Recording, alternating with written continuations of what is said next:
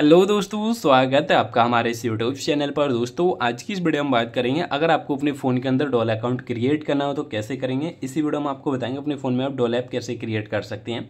एक एप्लीकेशन से दो एप्लीकेशन बना के कैसे यूज़ करेंगे। तो चलिए वीडियो स्टार्ट करते हैं। तो इसके लिए आप सबसे पहले फ़ोन की सेटिंग में जाएँगे डॉल अकाउंट यूज़ करने के लिए।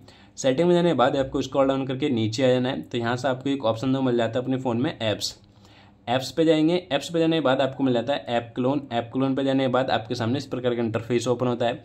तो यहाँ से जो भी ऐप्स आपकी स्क्रीन पर शो हो रहे हैं, सिर्फ़ आप इन्हीं का डॉल अकाउंट बना सकते हैं। अदर ऐप्स जो आपकी स्क्रीन पर शो नहीं हो रहे हैं, उनका आप डॉल ऐप नहीं बना सकते क्योंकि हमने स्क्रीन पर शो हो रहे हैं। जितने आपके फ़ोन में शो होंगे, उनका आप बना सकते हैं। हमने इनके बना दिए, जो कि आपको यहाँ देखने के लिए मिल जाते हैं।